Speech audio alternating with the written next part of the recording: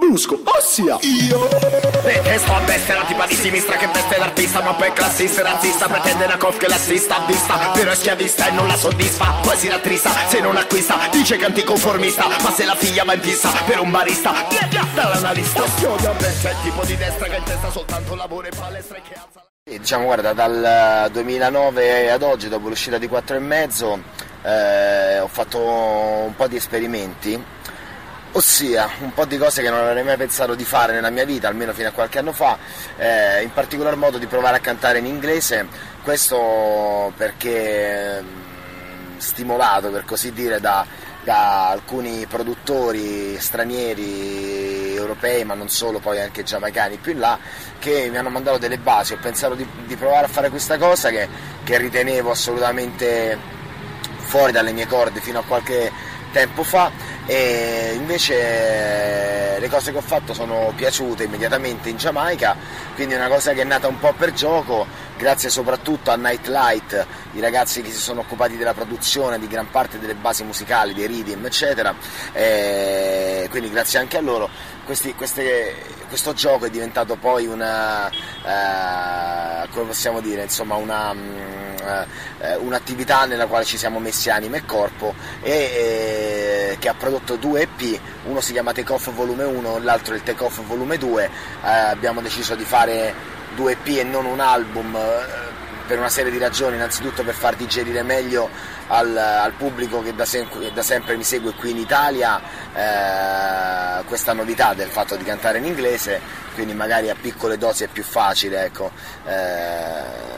fare i conti con qualcosa di diverso, eh, sia anche per contenere il prezzo poi dei CD che, che andavamo a vendere, infatti siamo riusciti a venderli a 5 euro l'uno, qualcosa del genere, facendo una stampa limitata e, e sono andati insomma, diciamo, a ruba, sono finiti subito. La cosa più bella che mi è capitata, a parte il fatto che tutte le radio eh, più importanti internazionali hanno suonato queste canzoni e la grande attenzione poi suscitata anche nei sound system, negli addetti del, eh, del genere reggae, che è quello che io adoro e che faccio da quando sono piccolo, la cosa più bella dicevo è stata quella di, di andare il- lo scorso 25 dicembre in Giamaica per un concerto, un mega concerto di questi che organizzano loro in cui, che durano do- 12 ore nei quali si esibiscono i più importanti artisti del reggae, nomi Biniman, Bounty Killer, Baby Sham, insomma sono eh, nomi storici che chiama questa musica deve per forza conoscere. E quindi ho avuto l'opportunità di, di cantare davanti a 30.000 giamaicani che non sapevano, o meglio sapevano poco chi fossi perché avevano sentito solo qualche canzone per radio e la risposta che mi ha dato il pubblico ha fatto sì che è stata una delle emozioni più grandi della mia vita. Se fino ad allora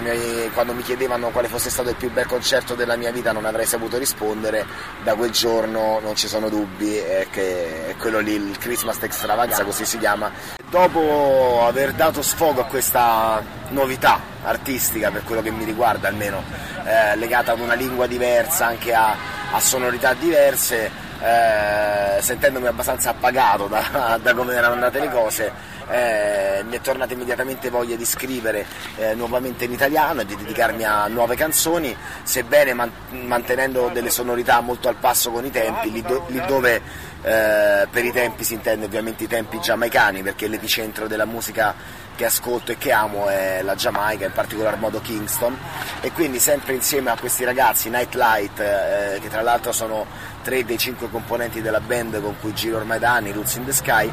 e, insomma insieme a loro abbiamo iniziato a, re- a registrare delle cose nuove in italiano e dico la verità, tanti artisti per fare album ci mettono tre anni, io cioè io se tra un album e un altro passano due anni è perché per un anno e sette mesi non faccio un cazzo. Poi dopo dico facciamo un no, facciamo, inizio a scrivere e quindi di botto mi ritrovo con le canzoni eh,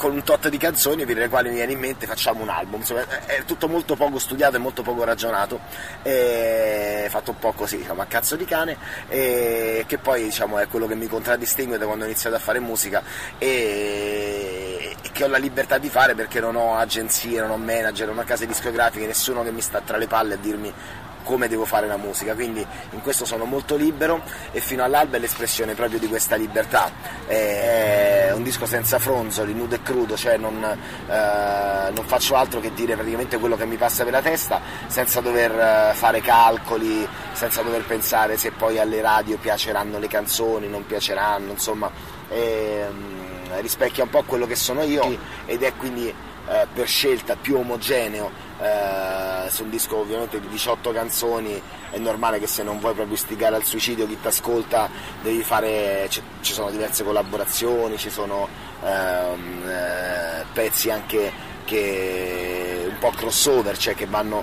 eh, magari in direzioni diverse dal punto di vista musicale e melodico, questo invece è molto molto legato a quello che mi ascolto io ogni giorno, cioè al reggae, allo stile dancehall. E,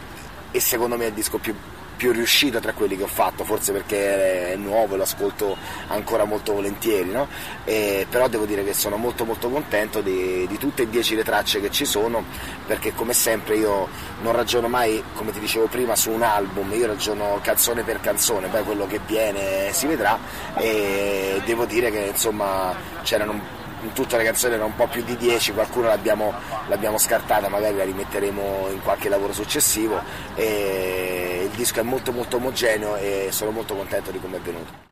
Allora, io premetto che sono, le prime date del mio tour eh, sono iniziate nel 2004 e sono continuamente in, eh, in fieri, nel senso che non ho un tour vero e proprio, diciamo, no? non facendo parte del cosiddetto mainstream, non girando per stadi, ma per eh, locali, piazze, centri sociali, chi più ne ha più ne metta, io sono costantemente in tour, per vedere, le, cioè faccio tipo tre date a settimana, eccetera, eh, d'estate pure di più. Per vedere le mie date, se andate sul mio Facebook, eh, vi potete fare un'idea e vedere quando sono nella vostra,